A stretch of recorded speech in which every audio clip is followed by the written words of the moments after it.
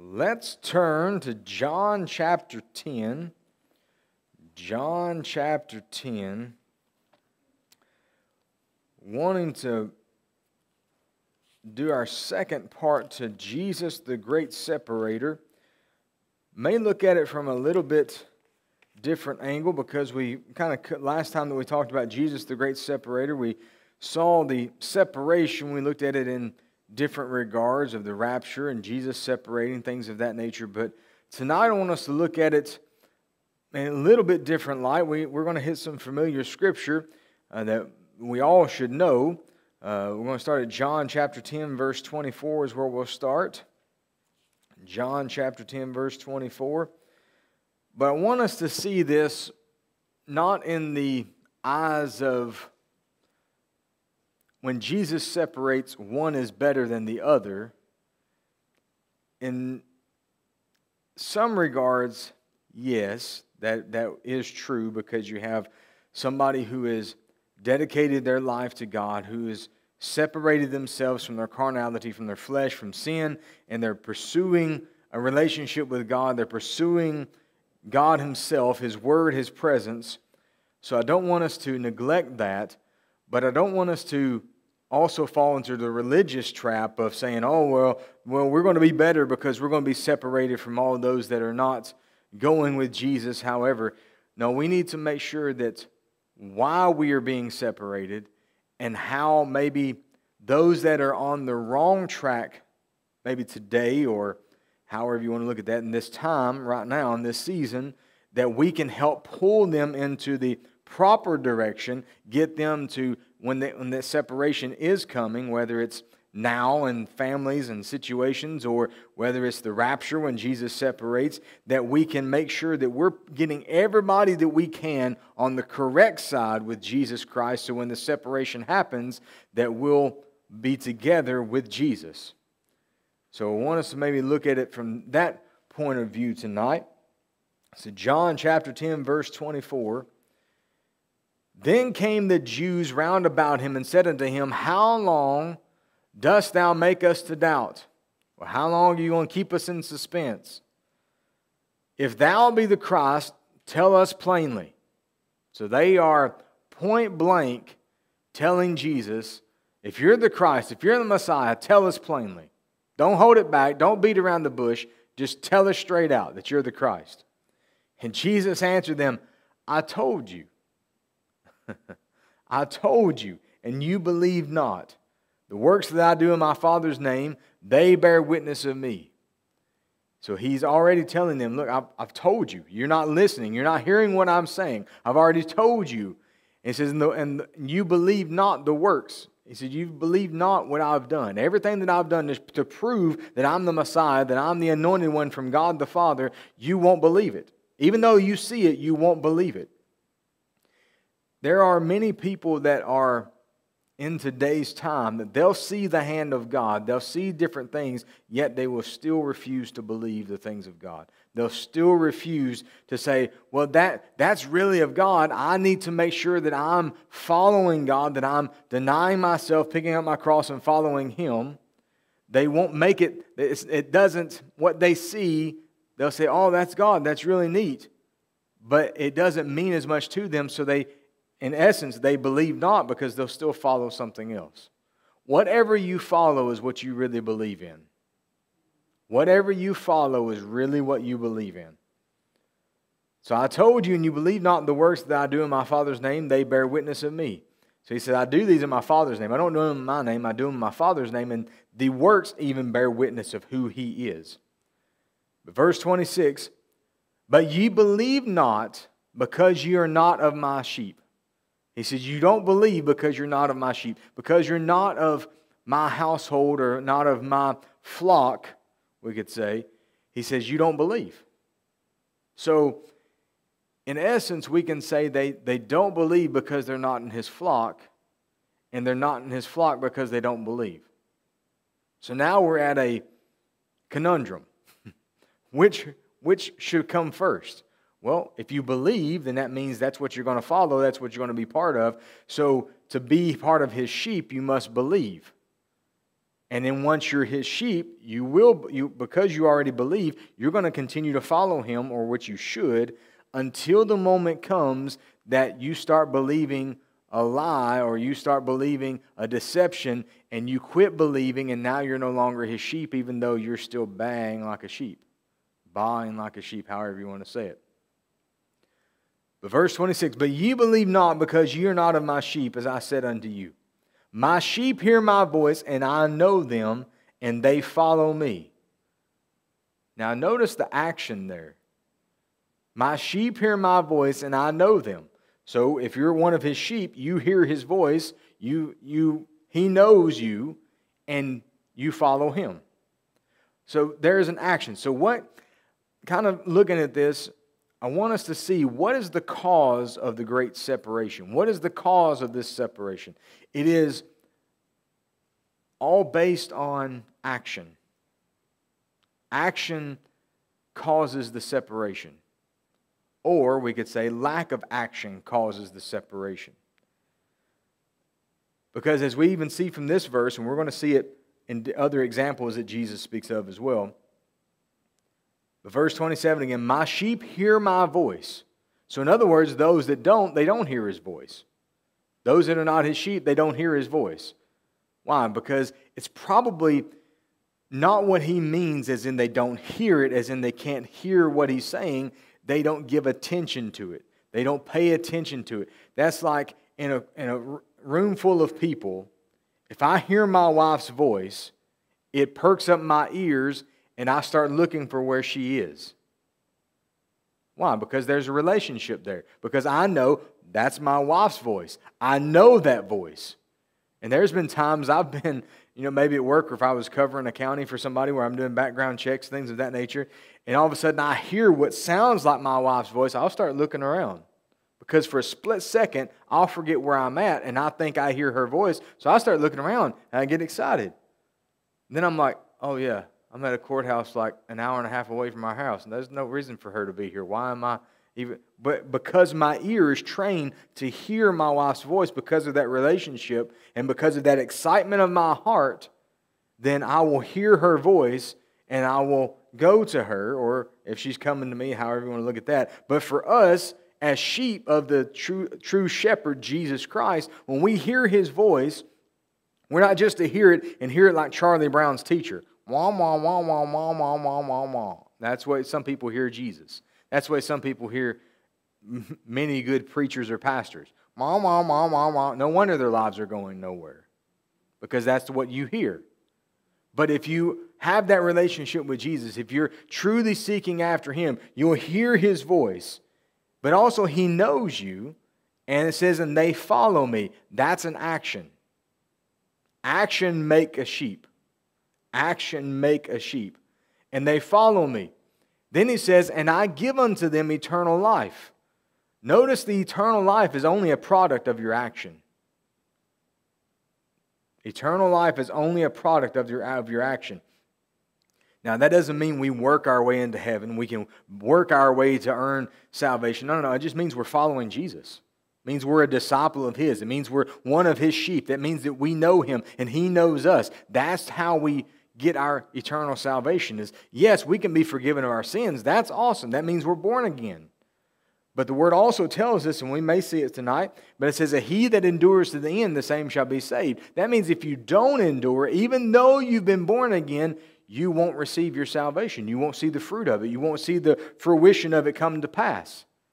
And in these last days, too many people are giving up their salvation. They're giving up the things of God in their life, but yet they still think, well, because I believe and because I think He's there, then I'm good with God. That's going to be part of the sadness of the great separator of Jesus Christ when he comes and separates the people is that's going to be the sad reality to some people is when they see Jesus in the air and they realize they're not going with him. That's a separation. But it's all based on what we do now. If, if we're choosing to follow him, if we're choosing to give ear to Jesus Christ, if we're choosing to uh, be part of his flock, be part of his sheep, then that's what will help us to be on the correct side of Jesus when he brings this separation, not only for time now, but for time to come. I don't know if you realize or not, but in these last days, there is a great separation already taking place. We could also call it, uh, the, the, the word also calls it the great falling away. That's a separation of people that you never would have thought would have left the house of God, would have left a, a, relationship with God, who would have walked away from God. They're walking away. Why? Because they don't endure, they don't follow, they don't give ear to Jesus, they don't hear Him, and they quit following Him, so Jesus doesn't know them. It's like He loses a little bit at a time of knowing them because they slowly ensure that they just slowly, slowly, slowly back away from Him and they walk away from Jesus Christ. And that is so sad because it's our own fault if we follow Jesus or not. It's our own determination of where we land when it comes to the separation. Verse 28 And I give unto them eternal life, and they shall never perish. They shall never perish neither shall any man pluck them out of my hand. Notice it says, neither shall any man pluck them out of my hand. Notice it's man. Now, man is italicized there, so we know that that's part, maybe not part of the original context, not part of the original language, but it's put in there for the understanding to help us to help us know that neither shall any man or any snatch them or pluck them out of my hand. Nobody else can come along and snatch you out of God's hand. So that leaves even this separation on our own fault, on our own conscience, on our own choosing. Because nobody else can pull you out of God's hand.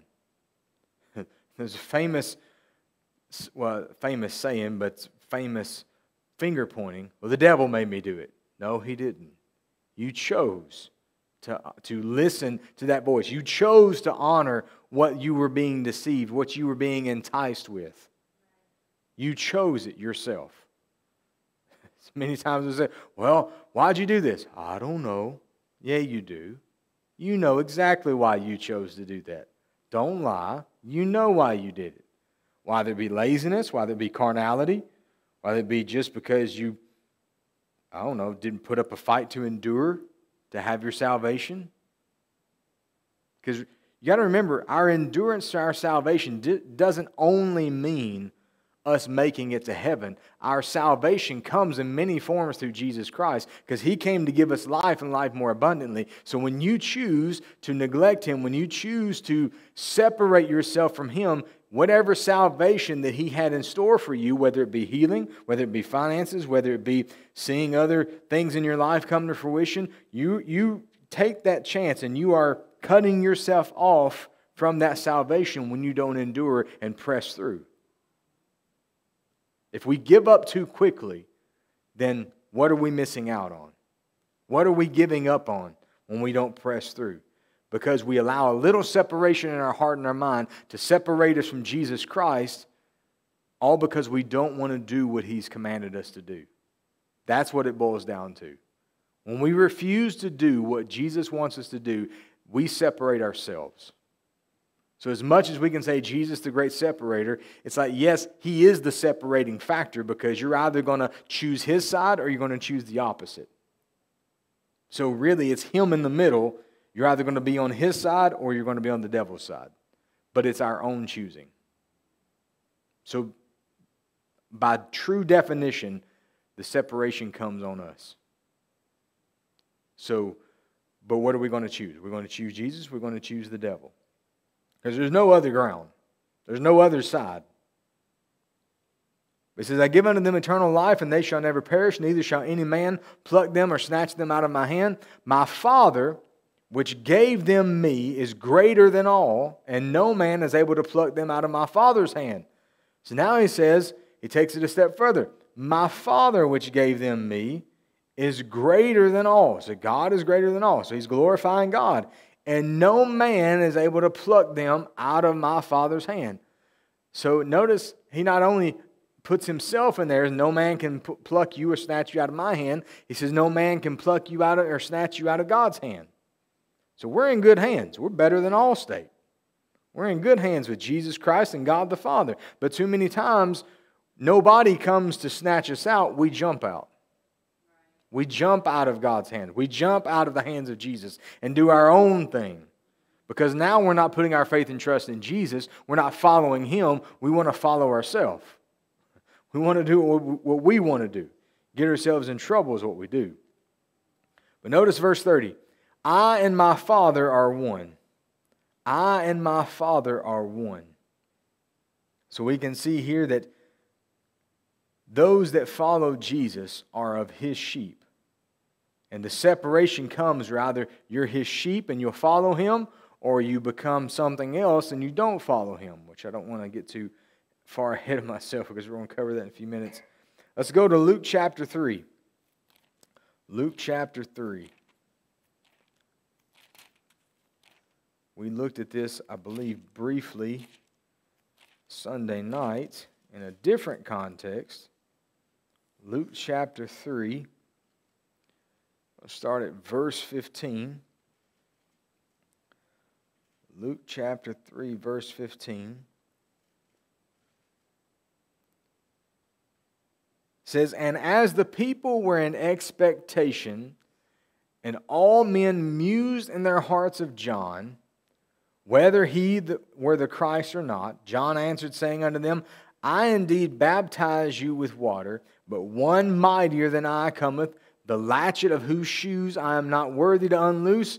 He shall baptize you with the Holy Ghost and with fire, whose fan is in his hand, and he will thoroughly purge his floor.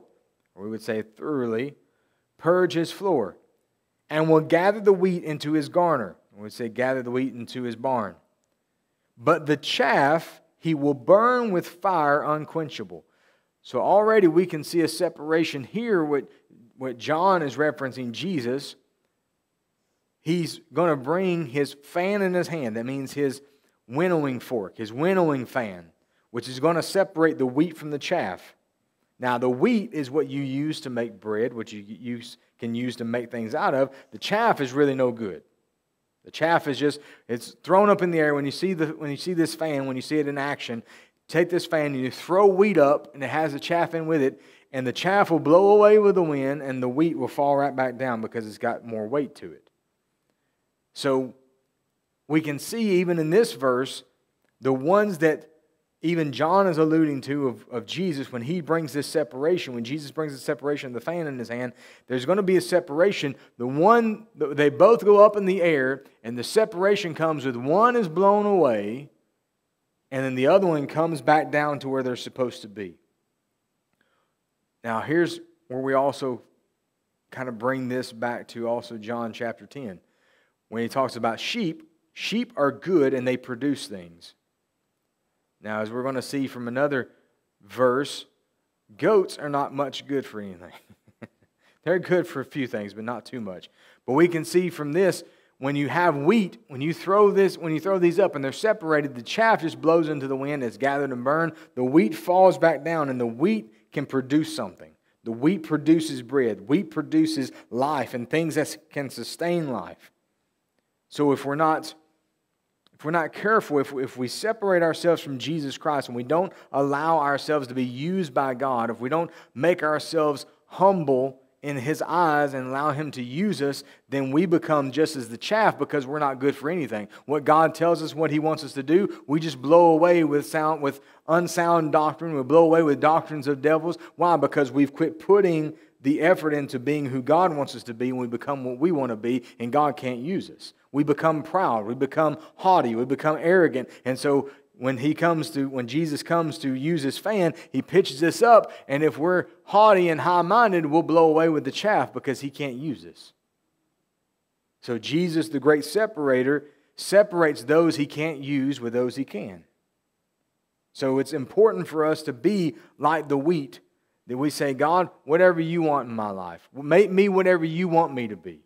Make me into something that you want, that you can be glorified with. Make me into something that you desire for me to be, because you have plans and purposes for my life, so make me into what you want me to be. Verse 17 again.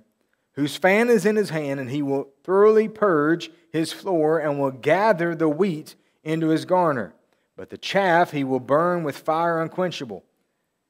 And many other things in, in his exhortation preached he unto the people. So, so John, even preaching of Jesus, even witnessing of Jesus, gives many other things that he preaches unto the people. That he tells them there's a separation coming. There's a man who's coming, and he's going to be this great separator, and he's going to separate those that will just blow away and those that will really want to stay with him.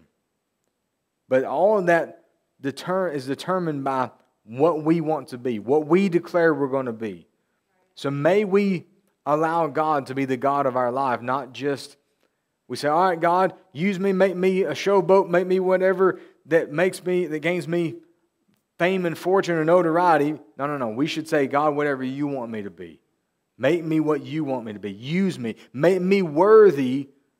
Make me worthy of being, uh, being used for your kingdom. Because remember, even in the New Testament, it talks about there are some vessels of honor and there's some for dishonor. There are some that you can use in a great house, or even in a great house. There are some vessels that are used for honor, some that are used for dishonor. May we have, may we be the vessels that are used for honor, that God can see and receive the glory and honor from our lives and how we conduct ourselves, all because we choose to follow Him and not be separated from Him. It says, and many other things, and many other exhortations He preached. He preached unto the people. So let's go to Matthew chapter 10. Matthew chapter 10. Let's start at verse 32. Matthew chapter 10, verse 32.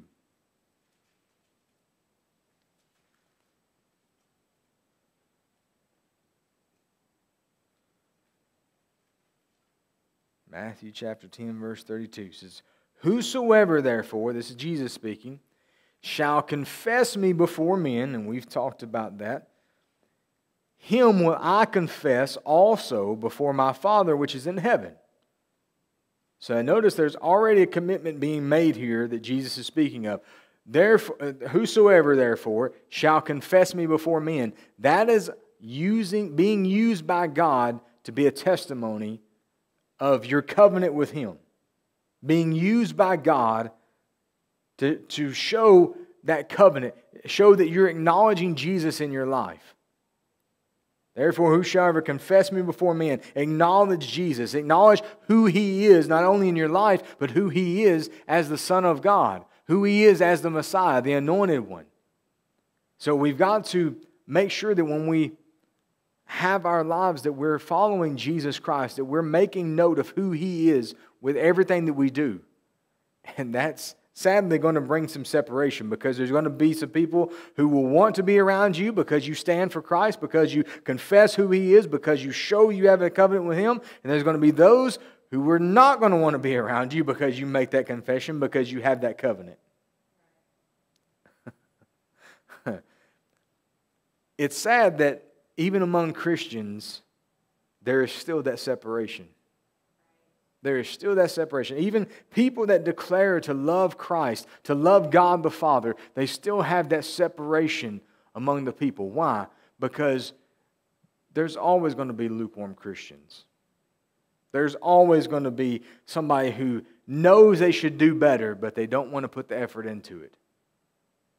And that is, that is maybe part of this great separator that we are probably more familiar with is when you're on fire for God, then you can tell real quick who does not want to be around you. but on the flip side of that, when you're kind of teeter tottering on being enticed, wanting to maybe do a few things that you know doesn't line up, you don't want to be around, or we should, I should say we, we don't want to be around people that are on fire for God either. Why? Because we know better. And it brings that separation within our own mind of saying, I need to get this lined up with God. I know it. But just as, just as soon as we make things right with God and we get on fire for Him again, then there's going to be somebody else who's we've almost flipped flopped situations. But the goal for our Christianity is not to weeble wobble and all of this stuff throughout our lives is to stay on fire for God because we never know when Jesus is going to come back in the air to gather up God's people and then it's going to be the great it's going to be the great separation because of the rapture. That's not a for lack of a better word, that's not a chance we can take. We don't believe in chance, we don't believe in luck, but you catch the heart of it. That's not something that we need to have on the line of all of our eternity because if we can barely make it in these days, in these last days, some people are not going to make it through the tribulation. If you can barely make it to church now, you're not going to make it through the tribulation. If you can barely read your Bible now, you're not going to make it through the tribulation. If you can barely pray now, you're not going to make it through the tribulation.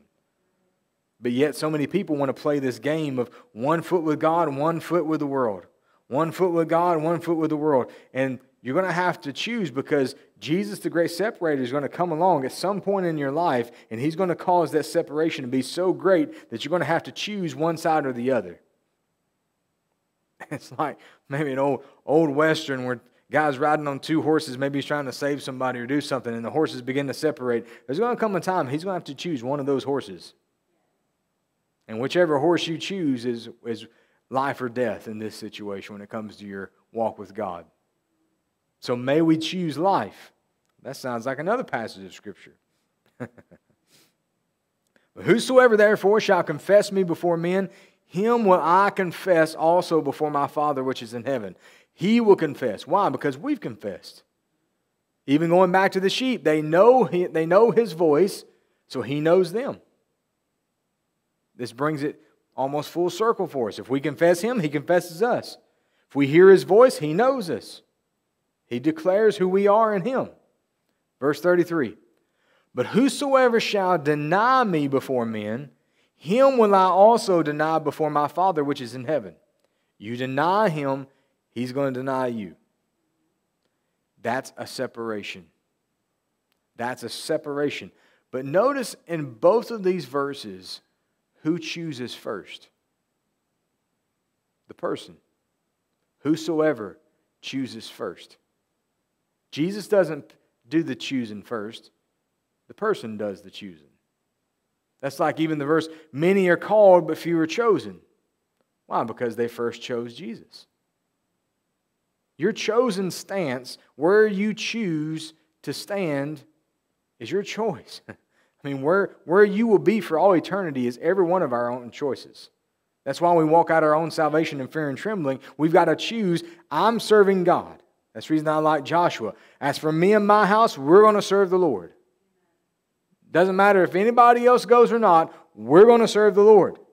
They got my mind made up, my heart is fixed. I like that song. To follow Jesus all the way. I ain't quitting, I ain't making to the fourth quarter and giving up. I ain't making to the last minute and just throwing my hands up and quitting. No, no, no, no. If you haven't noticed, I don't have quit in me.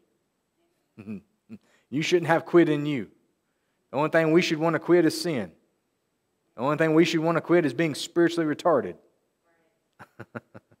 we should have this winning attitude about us, not just a winning attitude of winning personality. No, no, we win because we're going after Jesus and because we're going to be we're determined to be on his side because that's the winning side, but we're determined to be on that side because we love Jesus and because we know him and he knows us. So we won't let anything or anybody or anything else, even our own mind, our own heart, our own emotions, get in our way to separate us from Jesus Christ. But verse 33 again, but whosoever shall deny me before men, him will I also deny before my Father which is in heaven. So our choice, we get to choose first. We have to choose Christ or we choose not to partake with him. Verse 34 Think not that I am come to send peace on earth. I came not to send peace, but a sword. There's the separation. There's the separation. Think not that I come to send peace. He does, Jesus doesn't come to send peace. Jesus comes to be a sword, which even takes us to, to uh, Ephesians 6, the sword of the Spirit, which is the Word of God. Well, what is Jesus? The Word made flesh. So, no matter how you go about it, the Word of God is, is a sword. And it's going to separate, it's going to cut off different things. Not only should it cut off hindrances, not only should it cut off weights and sins that does so easily beset us, but it should also cut off those that refuse to repent because we're so on fire for God that they've come with a choice that they have to repent and make things right to remain in our life, or they're going to have to just cut our friendship off because they are tired of being convicted. But too many times, that doesn't happen because we go from burning hot on fire for God to lukewarm, and now they're comfortable being around us. And that's not proper. That's not the way that Jesus set things out to be. Too many Christians want to have be peace keepers and not peacemakers because they don't want to be the sword. They don't want to be the thing that cuts things off. They don't want to be, they want to use the word of God. They don't want to have a true walk with Jesus Christ because I don't know if you know it or not, but many people that walked with Jesus, they would leave him, they would forsake him. Why? Because he would offend them. Because he was so true to being the Son of God, so true to being the Messiah, so true to being clean and holy, even when he would speak, people would get offended and they would leave him. So much so that Jesus turned around and looked at his own disciples. Are you going to leave me now? You going to leave me too? Where else will we go, Lord? like what Pastor Ronnie Pittman said. Till you're stuck with Jesus, then it's like you won't go, you won't go anywhere. You got nowhere else to go until you're stuck with Jesus. Until you're until you're with Him, until you're stuck with Him, then you have the choice to go somewhere else. But if once you make up your mind of saying, I'm stuck with Jesus, I'm stuck on Him, wherever He goes, I'm going. I'm gonna be stuck like glue. We stuck to him because no matter where he goes, I'm going to. Because until you realize that you've got to be stuck to him, something else will try to separate you. Even when you are in your heart and your mind stuck to him, there's still going to be other things that are trying to weasel its way into your mind, into your heart to get you to separate. Now, sometimes the enemy will use a person, but really, ultimately, it's, as we said earlier, it's our choice. They can give you they can give influence into your life, influence into your ear, influence into your mind, influence into your heart, but it's ultimately going to be our choice. That's like with adulteries, fornications, drugs, alcohol, any of those things of that nature. Usually a person doesn't start out, especially in a marriage, they don't start out in their mind of saying, you know what? I feel like having an affair today. No, no, no, it's not how that starts. It's usually little by little, influence a little bit at a time, influence a little bit at a time until the influence is away from the spouse and on to whoever they're about to commit adultery with. So it's not really necessarily the person, the other person that is that the that the person will say person A, we'll say the man. We'll just clarify it that way if the man is going to have sex with a woman that's not his wife, it's not that woman is to blame. She is playing part of this role, but she's not the sole purpose that he is in this adulterous affair. It's technically both of them. It's the man and the woman having the affair because they both gave allowed that influence to be in their heart and their mind to separate this man from his wife. But if he would have spoken and said, No, no, no, I'm not giving influence to this. I'm not giving influence to this. No matter how hard she tried to come on, no matter how hard she tried to get into his mind, to get into his heart, get into his pants, however you want to look at it, then if he would have been determined to say, Nope, I'm not doing this. Nope, I'm not doing this. now, for some people, they say, Well, yeah, you're right. That man should act like that. He shouldn't allow that woman near him. Well, how come we do the same thing with God? We allow the things of the enemy, the things of the world, to flirt with us. We entertain it.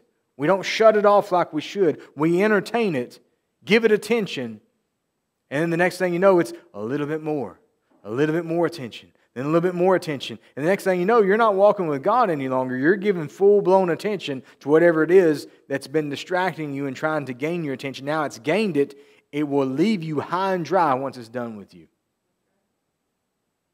much like most, not all, most affairs that happen, uh, that happen like that, most affairs that happen of that nature, the couple that gets together during the affair, they usually don't wind up together. Why? Well, for one, anybody with any common sense says if you were willing to leave your spouse, then you would, you would be willing to leave me for somebody else. But see, sin makes you stupid. Sin makes you stupid of, oh, we, but we're in love, but we're in love. But really, when you finally accomplish that, then it's all the pleasure's gone. Why? Because all of the, the, the risk, all the danger, all the adrenaline is gone because now you've got nothing left to lose. That's the way sin is. It has a pleasure for a season, and then once it really entraps you, and all the, the flare's gone out of it, all the excitement's gone out of it, now you're having to reap the consequences of what you've sown into. Whether it's, you know, sex before marriage, maybe you're reaping an STD, maybe you're reaping an unwanted pregnancy. If it's drugs, maybe you, you went from smoking a little marijuana to getting something to now you're addicted and you can't live without whatever, you whatever it is is for your next hit. But all of the all of the flair, all the fun's been taken out. Now you now you've got to. That's like you're uh, you're an addict to where you can't live without it. You feel like your your body's going to explode. You feel like all these things are going to implode in your body if you don't get that next hit. Now it's no fun. Now it's just a matter of survival. But that's what happens when you allow even small things to gain influence and favor into your heart and your mind and separate you from Jesus Christ. We've got to stay connected with Jesus. That's the reason we've got to choose to be married to Jesus, to say, I'm staying with him. I've got a covenant. I'm not breaking my covenant no matter what.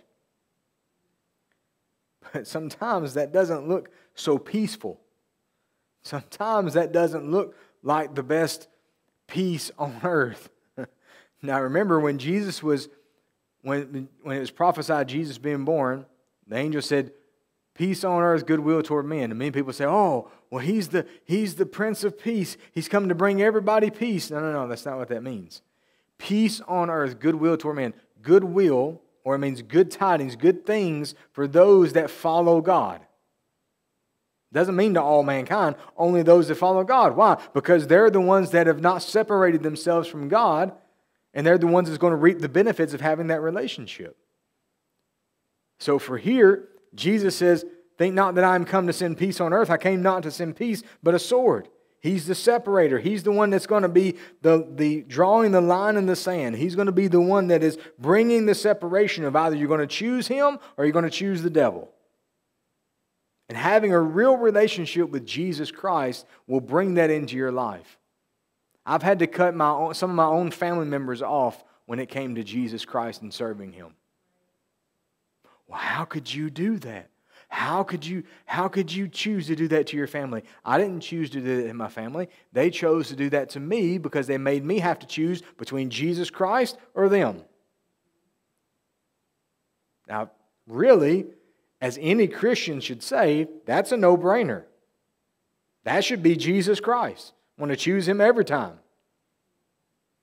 But see, when you let that influence, you let that voice in your mind and in your heart, you entertain it and you don't shut it down, you don't cut it off, it begins, it begins to get, gain influence into your life. And all of a sudden, oh, but that's family.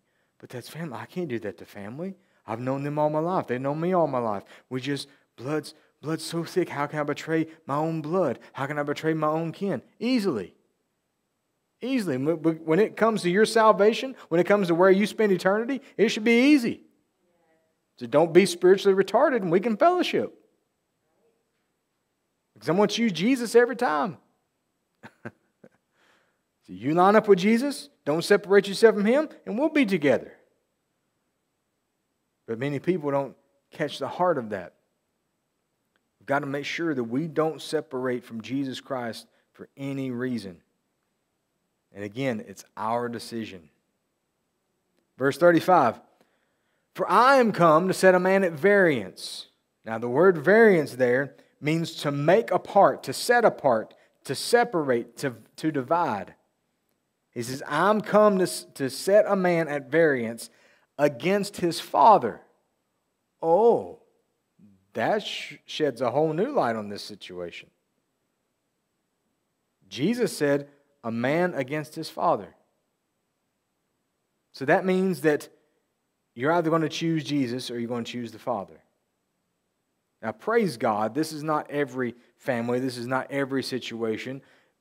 Hopefully, there are more families than, than maybe we can think of at the moment that the father and the son, or the father, well, it says man and father, but as we're about to see, other family members are involved. Hopefully, they can all serve God together. They can all be united under Jesus Christ because they all choose Him.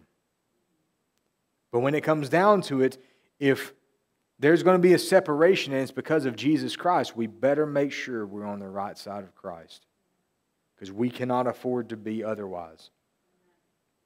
For I am come to set a man at variance against his father, and the daughter against her mother, and the daughter in law against her mother in law. And no, that's not the reason that most in laws have odds against each other, is because of Jesus. There's a whole other message for all of that. There's a whole bit of psychology for all that. Anyway, verse 36 And a man's foes shall be they of his own household. A man's foes shall be they of his own household. He that loveth father or mother more than me is not worthy of me. And he that loveth son or daughter more than me is not worthy of me. Now, we read this, we think, man, he that loveth the father and mother more than Jesus is not worthy of him. How is that to be? Well, I mean, it's there in red and white. I can't say black and white because mine's in red, which Jesus speaking. But if we can see this, if, if we love anybody more than Jesus Christ, we've already, we've already separated ourselves from him. We cannot love anybody more than Jesus Christ. It should be God, which includes Jesus Christ, the Holy Spirit, and then family, then work and other things. That's the order it should be in. God first, because even as Joshua said, as for me and my house, we're going to serve the Lord. He was including his house because he had authority over it. As for me and my house, you, you better believe I've already told my boys, you grow up, you get 18 or older, and you turn your back on God, I'm cutting you off. Now, our littlest one, seven, he doesn't understand that yet, so I haven't really declared that in front of him. But the other two understand. I'm cutting you off. I love you, but I'll cut you off. You turn your back on God and you run away from God, I can't help you. I'm not aiding and abetting a prodigal. I'm not separating myself from Jesus Christ to help you. You, you'll know where we'll be. We'll be in the house of God. We'll be serving God. And as long as you don't separate yourself from Him, we can be together. And I'll take care of you as your father. I'll take care of you as your parent. But you turn your back on God, it's sayonara. hmm. But he that loveth father or mother more than me is not worthy of me. He that loveth son or daughter more than me is not worthy of me. So here we can see probably the best two examples of children loving their father and mother more than Jesus. That's not good. That's not balanced. Because if you put father and mother, many people will choose father and mother over Jesus. Why? How is that, Pastor? Well, many of them will go and they'll go to church just to, just to suit father and mother. Not to really have a relationship with God, just to please mom and daddy. And that's not good. That is not the way that this is intended to be. We should serve the same God, we should serve Him together as parents and children. So we don't just do things that lines up with the Bible just for father and mother. We do it because we're in love with God, because it's biblical, and we want to honor our relationship with God first and foremost. If you do that, any good Christian parents, you, will earn, you'll earn their honor and respect because you have your own walk with Him. And your love will grow for them, your, your love will grow for your parents because they will have more honor for you because of your own walk and it's just going to keep that love and honor and respect growing between you. But then it comes to, and he that loveth son or daughter more than me is not worthy of me. So anybody that chooses the son or daughter more than Jesus Christ is not worthy of him. they get themselves in trouble. They're willing to say, Well, you know, I know that my son or daughter, I know they're a prodigal. I know they're running from God, but I'm going to try to give them some money. I want to make sure they get fed. I want to make sure that they have this. I want to make sure they have that. I want to make sure, well, what you're doing is you're being their God. And, in, and really, in a sense, is you're separating yourself from even the teaching of Jesus Christ to go be their Savior, to go be their Messiah, to go be the anointed one in their life, to give them to be their supply. We can't do that. We've got to stay with Jesus Christ and say, you know what? I'm going to pray for them. I'm going to be faithful in praying for them. And I pray that they repent. I pray that they make it right. And when they repent and make it right with Jesus Christ, then I can bless them. Then I can help them. Then I can be everything that they need me to be in their life. But until they make it right with God, then I can't be part of their life in that regard. The only thing I can do is pray for them. So we can't allow family to separate us no matter who it is. no, no matter if you're from a state more southern than we are and you're married to your cousin, you can't separate yourself because of Jesus Christ because of those things. Anyway, that's a joke.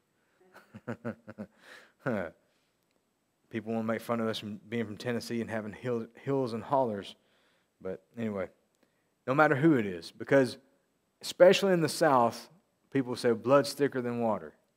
You know, you don't, you don't, uh, family's everything. There's a few movies that say this, that stuff. Family is everything when you serve God together. But family is nothing when it comes to half of you want to serve God and half of you don't.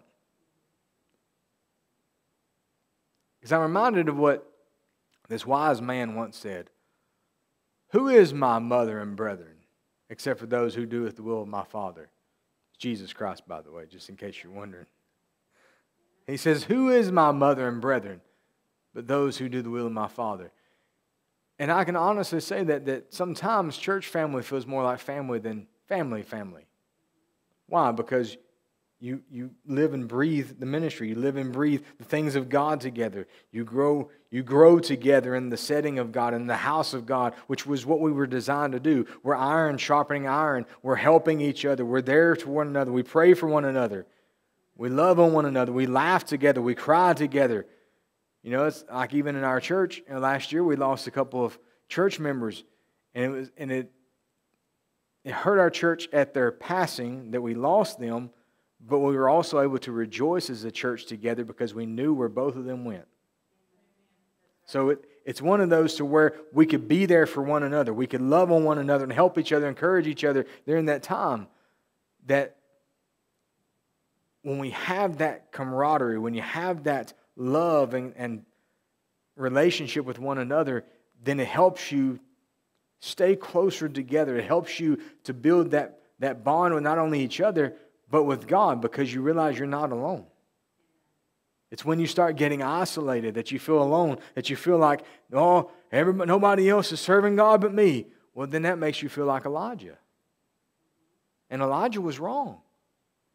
As, as, as many great things, mighty things as, as Elijah did in the Old Testament, in the book of Kings, he done many mighty things. God used him greatly. But it was when he began to isolate himself, when he began to start feeling this I'm the only one left, I'm the only one that's really serving God, I'm the only one that's hearing the voice of God, that he began to go out into the wilderness. He began to chase after other things, and God says, I'm not, I'm not there. That's not, that's not what I'm doing. That's not me moving. He went back to the mountain and looked in the, looked in the tornado, looked in all of these other things, but then it was a still small voice of God God wasn't in those moves that he used to do. God, with a still small voice, said, Why are you here? In other words, he's saying, Why are you coming back to where I used to be, where I used to move? I need you to stay current with me. Because remember, right before that happened, God picked Elijah up, so to speak, or made him outrun the horse and chariot to the gates of Jezreel, right to Jezebel's front door, pretty much because that's where God wanted him to be at that moment in time to take down the enemy. But then even Elijah separated himself from what God wanted him to do. And he goes chasing after something else that he believes, I'll find God out here. I'll find God out here. And he doesn't. what he finds is a still small voice that says, Why are you here? So he found him, but it wasn't a good thing. So we can't separate ourselves from God's presence. We can't separate ourselves from Jesus Christ. Because now praise God for Elijah and, the, and being a prophet in his time, but now we have Jesus Christ, the Son of God, sitting at the right hand of the Father, interceding for us. We have the Holy Spirit on the inside of us. So we have more empowerment, we have more authority, more things, more resources within us and upon us than we could say even he did. So, why are we choosing to separate ourselves from the things that God has blessed us with? Why are we separating over just not wanting to do what Jesus wants us to do? He says, If you love me, you'll keep my commandments. That's still an action. As we said earlier, when, when we're something, when we're able to be used of God, when we produce things for the kingdom of God, that's when we know we're on track with God. When we quit producing things for God, when we quit being useful to God in that sense because we're arrogant, because we're prideful, because we're not obeying Him, and everything is dried up where we're no longer useful, we're no longer being used, that's a dangerous situation. Because that shows that we've separated from Jesus. We've separated from what God wants us to do. So, verse 38 And he that taketh not his, up his cross and followeth after me is not worthy of me. He's not deserving. He's not comparable. He's not suitable for me. Of me, I should say. Verse 39 He that findeth his life shall lose it. In other words, you're trying to do life your own way. You're going to lose it. And he that loseth his life for my sake shall find it. So when you lay down your life and say, Jesus, what would you have me do? Because when you lay down your life, that is you separating, separating you from yourself and from what you, the plans, the dreams that you have, and you're stepping out in faith toward Jesus Christ and saying, I no longer want to be by myself, I want to be with you. But even going back to the beginning of this verse, verse 39, he that findeth his life shall lose it. Why? Because when you find your own life, when you find your plan, your purpose, your will, what you want done, then you're going to lose everything because to, in the presence of God, as Paul says, it amounts to dung. It amounts to nothing. So why are we trying to make our own life? Why don't we just say, you know what, God, I'm going to deny myself. I'm going to pick up my cross. I'm going to follow after you. So that way I'm losing what my mind and my ambition, my dreams are, and I'm going to pick up what you have for me, that I may walk with you, I may serve you, I may follow you all the days of my life. And he that receiveth you receiveth me, and he that receiveth me receiveth him that sent me. He that receiveth a prophet in the name of a prophet shall receive a prophet's reward, and he that receiveth a righteous man in the name of a righteous man shall receive a righteous man's reward. So we can see here, however you receive, Jesus Christ is the reward that you're going to get in that relationship. If you receive Jesus only as Savior, you'll have a Savior, but you won't have a Lord and Master. If you receive Him as Lord and Master, that's what you're going to have. Now, sadly, there, there is a major difference between having a Savior and having a Lord and Master. Many Christians in these last days have a Savior. They've been forgiven of their sins, they've laid all of that down at His feet. But what they really need is a Lord and Master. Somebody commanding their life, somebody putting out the commands and the Word of God into their life for them to follow, giving directives, giving orders that they can follow, that they can know Him and be with Him, be under His command. That's the reason I like to call, you know, Jesus as the commanding officer. That's our spiritual warfare lessons. Because the Holy Spirit's more your NCO. He's the one that's with you in and out because He's in you. And if you're baptized in the Holy Spirit, He's upon you. So He's with you in the muck and the mire and everywhere that you go. But Jesus is the commanding officer. He's the one that gives the commands, He's the one that puts down the orders for us to follow. Which, again, I know we've said it probably a couple of times tonight. But he says, if you love me, you'll keep my commands. If you honor me, if you love me, then you're going to do exactly what I tell you to do. So, in other words, if you have a Savior, you may still not even love Jesus Christ. That's something to think about. So, even having a Savior could still separate you from Jesus Christ. Because you can be forgiven. That's awesome. That's the beginning of your salvation. But when you don't endure in that relationship, how much are you missing out on? And what's your relationship with Him going to look like by the time that you reach either the rapture comes or either you reach the end of your life? Because you've quit honoring Him, you've quit loving Him by keeping His commandments. And that's one of those situations to where even I, as a man, I don't want to judge that situation. One, it's not mine to judge. But two, it's like, I'm glad that Jesus, I'm glad that God's got that worked out because I don't want to have anybody's eternity in my hands in that regard. We'll all already have enough in our hands when it comes to the day of judgment of what we did right, what we did wrong, what we should have done, what we could have done, how we flubbed this up, how we got this right.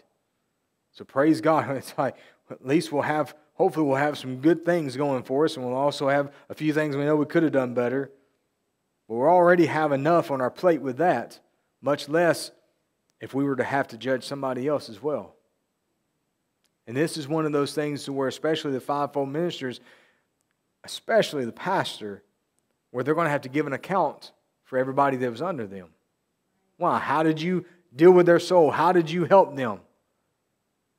Even in that regard, people that choose to separate themselves from Jesus Christ, they're going to have to, in that day of judgment, they're going to have to hear that pastor, that minister, those that were helping in their life. They're going to hear that testimony of that pastor. Here's what I gave them to do. Here's how they handled it. Here's what they chose not to do. Here's where they began to separate. Here's where they begin to really be on fire for God. However, the situation is, that's the testimony that's going to be given. So I pray, I pray, and I pray that we all have a wonderful testimony as we stand before Jesus Christ.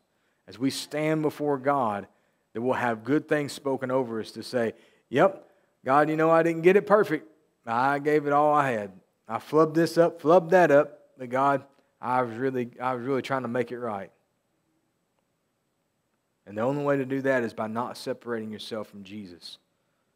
Not separating yourself, not allowing things to influence you and deceive you to pull you away.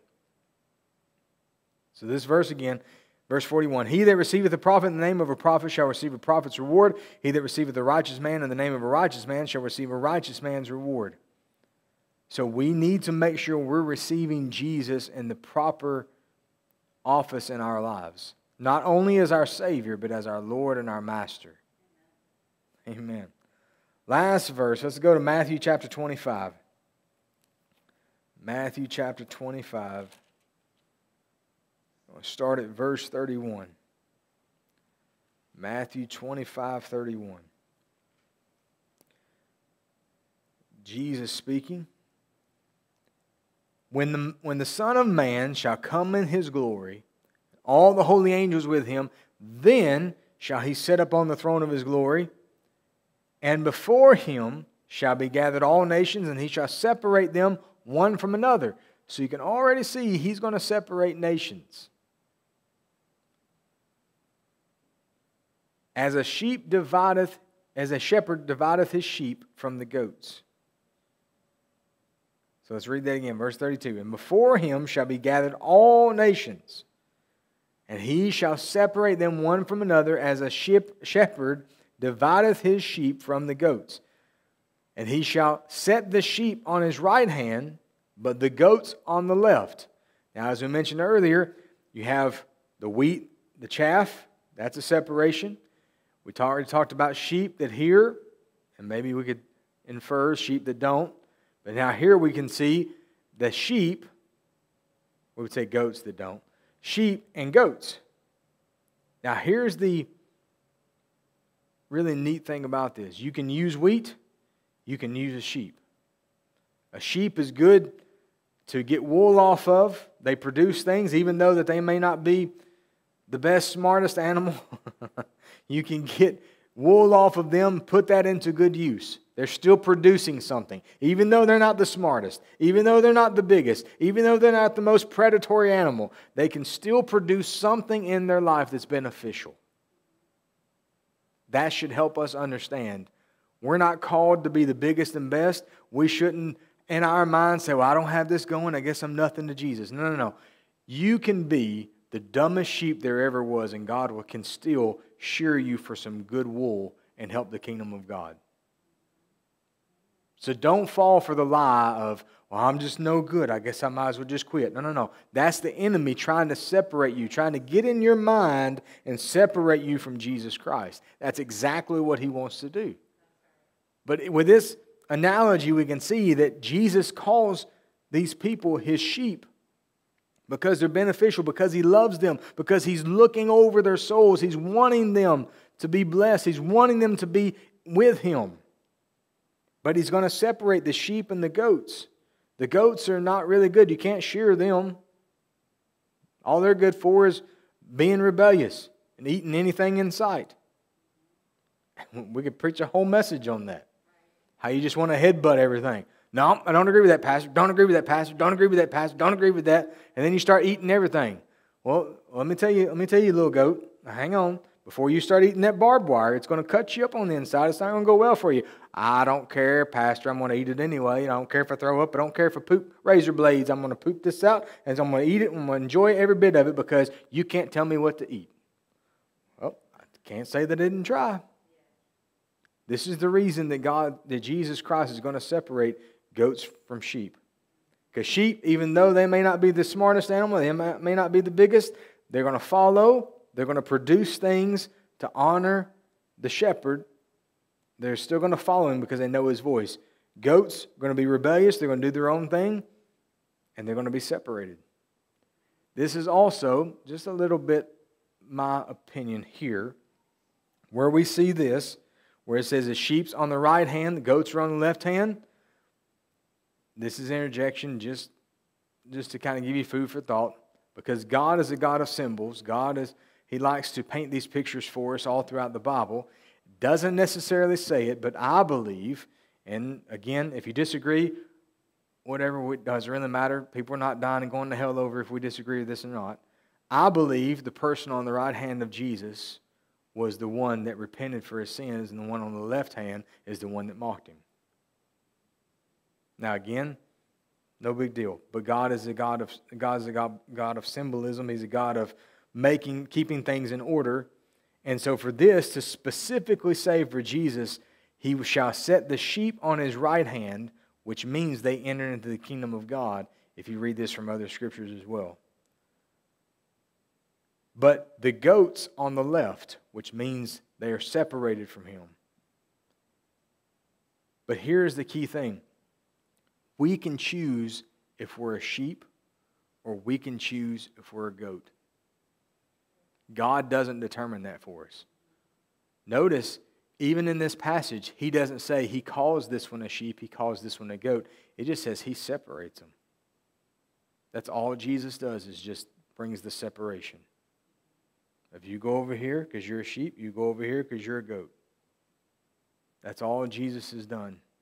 That's what it says he's going to do. So for us, we've got to be determined in our heart that we're going to be a sheep. We're going to stay at the right hand of the Father. We're going to stay at the right hand of Jesus Christ, following him everywhere that he says to go. Verse 34 Then shall the king say unto them on his right hand, Come, ye blessed of my Father. That's where you want to be. Inherit the kingdom prepared for you from the foundation of the world. Now, some people would say, well, see, he's already ordained them to be sheep. That means they can have no say about it. No, no, no. All he says is, I've been establishing the kingdom of God since the foundation of the world. I've been preparing a place for you.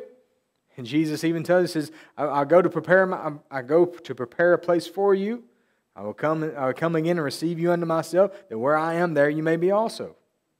So he, tell, he tells them there's a place that is being prepared for you, but it's been prepared since the foundation of the world. God has had a heavenly throne to take us to to be with Him so that we don't have to be separated. so, as much as we want to say Jesus the great separator, it's really Are you choosing to separate yourself from Jesus Christ? And Jesus being holy and clean, we're going to have to make a choice. Are we going to line up with Jesus to be holy and clean, to be holy like God is holy? Or are we going to choose to be dirty and filthy and be separated from Jesus by our own choice? So, coming back to this, verse 34.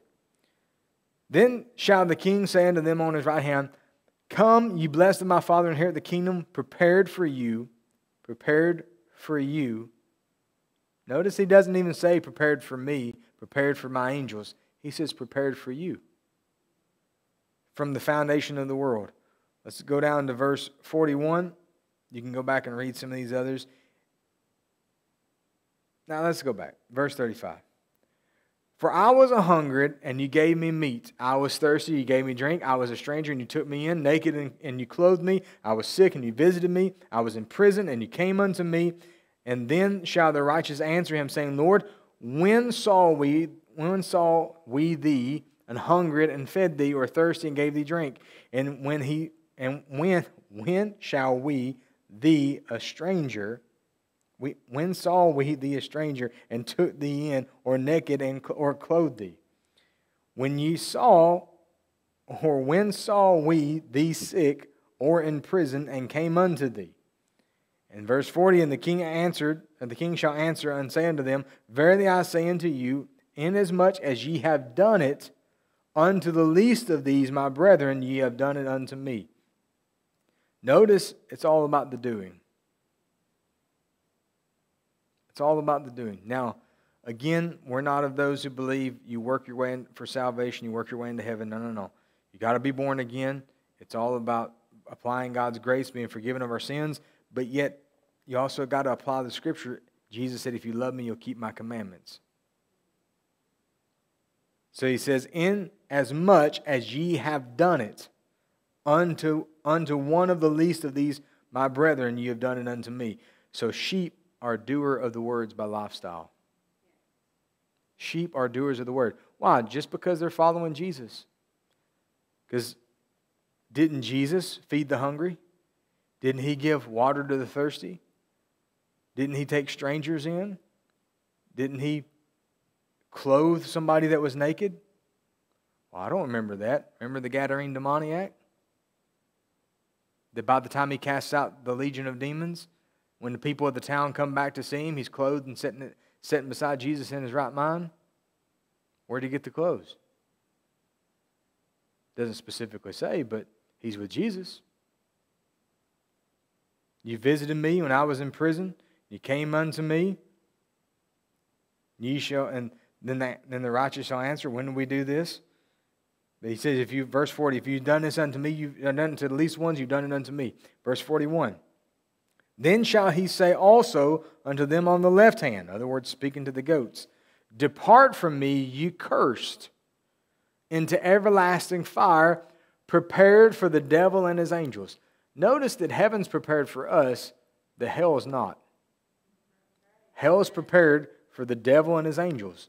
So if we choose to separate ourselves from Jesus Christ, which is our choice, if we choose to separate ourselves from him, then that means we're going to somewhere that's prepared for the devil and his angels. So, really, that means we're not supposed to be there, but we're choosing to be there. Especially in these days, many Americans they get upset. People cross the border illegally, which is not right, it's illegal. But many people get upset at that, but yet nobody says a word when people die and go to hell, and they're, they're there illegally. When they're there, that when heaven was actually prepared for them to, to make place for them, to make room for them, and they separate themselves from Jesus and go illegally out of God's will and plans and purposes that He has for them in their life, they go illegally to hell. It's all my choice. Verse 42 For I was a hungered, and you gave me no meat. So in other words, they were selfish. I was thirsty and you gave me no drink. Selfishness. I was a stranger and you took me not in. Selfish. Naked and you clothed me not. Sick and in prison and you visited me not. Selfish. And they shall also answer him, saying, Lord, when saw we thee in hungered, a hungered, or a thirst, or a stranger, or naked, or sick, or in prison, and did not minister unto thee? The word minister means to serve. When did we not serve you? That's something to think about. They're going to be, because even with this, there will be some people that go to church, they're going to have to look at Jesus and say, When did we not serve you? And Jesus is going to say, I never knew you. But with this, there, it's like, when did we not serve you? When did we not minister to you? When, we didn't, when did we not take care of you? Probably when you didn't answer his voice, when you didn't hear what he was telling you to do, when you chose to do your own thing. Because when you separate yourself from somebody, it's hard to serve them. It's hard to serve somebody when you're not there. It's hard to be with somebody when you choose to separate. Verse 45 Then shall he answer them, saying, Verily I say unto you, inasmuch as ye did it not to one of the least of these, ye did it not unto me. So goats are not doers of the word and lifestyle. They don't care about serving God. All they care about is what's in it for them. That's a separation. Because again, that even takes us back to the verse we've quoted about four times tonight. If you love me, you will keep my commandments. If you're not a doer of the word, then that makes you a goat and you're not profitable for the kingdom of God. So you're, you're essentially, not, not just because you're not a doer, but because you don't love Jesus, you're separating yourself from Him. So Jesus is the great separator, even though it's our choice. When we're all, when we're all confronted with conviction, not condemnation, when we're all confronted with conviction, we have a choice. And in that moment in time, you're going to find out where you're really submitted. Either you're submitted to Jesus, all right, Lord, I know I need to fix that, or you're submitted to yourself. Man, that's mean. Why is pastor picking on me? Why is that? Why does he got to read that verse? Why is this? Why is that? Now you're left with a choice. One is making sure that they're not separating themselves from God to say, All right, God, I see that. I need to fix it because they want to follow Him. The other says, I don't care nothing about that. That's mean. That's picking on me. That's whatever because you've separated your heart from Jesus and knowing the Word can fix you and to help you. Because even the Pauline epistles tells us the Word, all Scripture, is profitable for rebuke, for correction for everything we have need of, all Scripture is beneficial, it's profitable for that. But if you separate yourself from the Word, remember, Jesus is the Word made flesh. If you separate yourself, then offense comes. Because great peace have they that love thy law, and nothing shall offend them. When you love Jesus, when you love the Word, when you love God, nothing will offend you because you want to follow after your shepherd. Not, not just your pastor, because I can't get you into heaven, but the chief shepherd, Jesus Christ, following him, loving him, knowing him as your Savior, but also your Lord and Master, get you into heaven. Verse 46, last verse. And these shall go away into everlasting punishment, but the righteous into eternal, into life eternal. So we can see that there's also this great separation and it's not handed out as punishment from Jesus Christ. All he does is separate what's already there. He just he separates what's coming to him. That's like when you when people just separate certain things, you, you, you don't determine what the things are, you just separate them for what they for what they are. In other words, we could say if you have a, a I want to make this up, a Gidget and a Gizmo, if they're coming down the factory line, you don't just say, all right, that's a Gidget, that's a Gizmo. I'm calling them that because they don't have names, so I'm going to separate them because I like this one, I don't like that one. All you do is you just separate them on, based on what they already are. So we've got to determine that we're going to be a sheep, that we're going to be wheat, that we're going to be everything that God wants us to be, and to not separate ourselves from Jesus Christ. That He has no reason to separate us from Him. That He has no reason to put us at His left hand. He has no reason to throw us up and we fly off with any wind of doctrine. But that we follow through with everything that God has for us and we follow Jesus all the days of our life, either till we meet him in the air or that we take our last breath and we stand before him. Amen. Amen. Well, I pray that we make the right choices, not just tonight, but for all of the rest of our life. Because these are the last days, and things are not going to get brighter in a sense, they're going to get darker. So we've got to make sure that we do everything in our power, everything that we can to know the Word, to know our Savior, to latch onto Him, endure to the end, and be saved. I don't want to don't want it to come across as in hopeless and well, just hang on. We're going to barely get by. No, no, no. There's power. There's power in being in the in the fold of Jesus Christ, being in the flock of God. There's power and authority that we have that we're more than conquerors, that there's so much promised to us, there's so much victory given to us. So we've got to make sure that even in that, that we stay on the right side of Jesus Christ, that we choose to have that victory. We choose to overcome the things of the enemy. We choose to not allow him to have influence in our ear, to have favor in our life, that we block him out, that we submit ourselves to God, resist the devil, and he will flee from you. No matter how you shape this out, no matter how you shake it out, either, the word, the word can bring us so full circle into the things of God if we'll only submit to it, if we'll only know it and apply it to our heart and our life, which will cause us to fall more in love with Jesus. The more that we know the word, the more that we pray to God, it'll help us to fall more in love with Jesus Christ, and it'll have let the devil will have less room in our life to separate us. Because remember, the word tells us not to give him a foothold, not to give him any ounce of our life.